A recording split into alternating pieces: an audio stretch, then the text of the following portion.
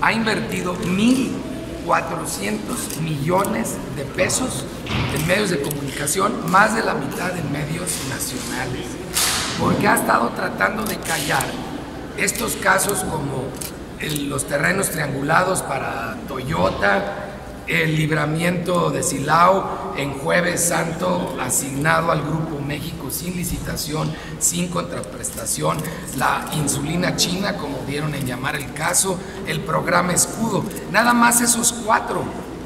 Fácilmente suman 2.500 millones de pesos en desviaciones del recurso público de este estado. Y le suman a eso que es sabido por muchos medios, muchos empresarios, que para conseguir una obra pública en Guanajuato tienes que ir a Irapuato a ver al gallo barba. Y hablan de otros dos compadres más, porque no llenó con uno. Entonces, pues ya los, ya los estaremos señalando en los momentos oportunos. Y siendo gobernador, sin lugar a duda, voy a investigar a fondo todos esos actos de corrupción. No importa que los haya clasificado porque donde huele mal, inmediatamente los clasifica. Es la primera vez en la historia de Guanajuato que un gobernador pretende poner a su sucesor. Cuando gobernaba el PRI, era el presidente de la República el que decía quién iba a ser el candidato de Guanajuato. De hecho, lo sacaban de los gabinetes de federales y lo mandaban a Guanajuato porque sabían que se prolongaba la corrupción si dejaban que el propio gobernador pusiera a su sucesor. Viene el PAN, lo transparenta y lo limpia porque elige a sus candidatos por convenciones democráticas, con el voto de los militantes del PAN. Y esta es la primera vez en toda la historia de Guanajuato que un gobernador pretende imponer a su sucesor porque solo él, consultando con el espejo, designó al candidato del PAN. Otra clara muestra de corrupción y lo único que buscó el gobernador Miguel Márquez Márquez con poner a Diego Sinoé es buscarse un candidato tapadera.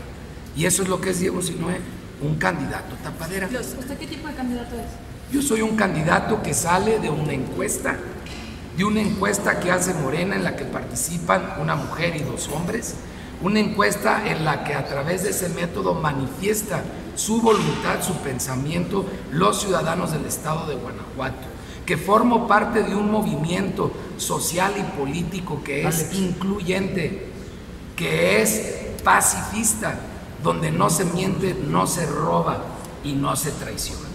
Al usted venir del Partido Acción Nacional y después pasar al Partido Morena, ¿no tiene los mismos ideales a pesar de haber estado de un lapso al otro? Sí, yo tengo los mismos ideales, soy un socialdemócrata, así me formé y así me recibió Morena y la coalición como un socialdemócrata. Y así voy a seguir siendo y voy a gobernar conforme a la socialdemocracia. Quienes han abandonado la socialdemocracia es el Partido Acción Nacional, empezando por la democracia. Tenemos 15 días solamente para cerrar prácticamente lo que son las campañas y ya quedó definido en la Paz del quién irá a la contendencia de la alcaldía. ¿Cuál va a ser la estrategia para que la candidata se pueda posicionar?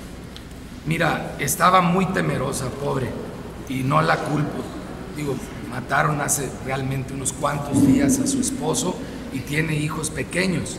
Estaremos respaldándola todos los candidatos, empezando por mi esposa Renata, que, que estará fortaleciendo en mucho la, la campaña de Carla.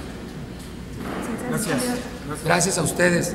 Que por cierto, luego a ver si averiguan quién fue la que gritó. Porque ya, solo, precisamente. solo una persona gritó. Sí, este, Le- leyeron montones de veces las reglas, diciéndole a la gente que apagara el celular, que no se podía gritar, que no se podía expresar consignas, ni porras, ni de apoyo, ni de en contra, ni nada.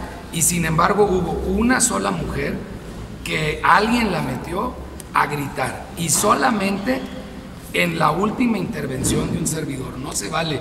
Yo le pido de favor al Instituto Estatal Electoral de Guanajuato que investigue a fondo quién es esa persona, quién la trajo y además que se sancione al partido que lo promovió. Oiga, la está acusando de, de querer o, de adueñarse de 10 hectáreas en, Duarte.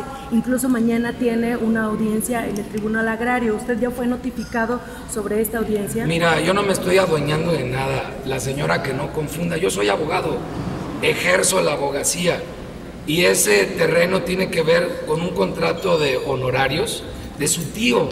Su tío Octavio me contrató, ya sé exactamente quién es. Su tío Octavio me contrató para llevar en el despacho, no solo yo, sino un equipo de abogados, un juicio se está desahogando en los tribunales, como se desahogan muchos juicios en los tribunales de todo tipo, en este caso el Tribunal Unitario Agrario. Y actuó, actuó por un contrato de prestación de servicios de un tío de él. Entonces ahora sí que no revuelva unas cosas con otras. ¿Cree que Acción Nacional pudo, digo, porque se refiere invitación, el Estoy, ahorita que me dicen el nombre, si es ella, estoy seguro que sí, porque su abuelo y su papá eran militantes de Acción Nacional. no me, ahí sí, ahí sí no me cabe la menor duda que fueron ellos. Además, el papá de Diego Sinoe se la vive en Duarte, con Evaristo de la Rosa. A cada rato están echando taco. Ni siquiera me recibe Evaristo en Duarte ni al teléfono me contesta. Entonces sí me queda claro con esto, si es esa persona, sé exactamente quién es, y no pudo haber alguien más que lo invitara que el Fidapín, como se le conoce al papá de Diego Sinoe y en consecuencia el PAN. Para precisar nada más este proceso que lleva, usted, o su cliente es el tío, eh, eh, Octavio es su cliente. Octavio es el cliente del despacho en el que yo trabajo. Gracias. Gracias.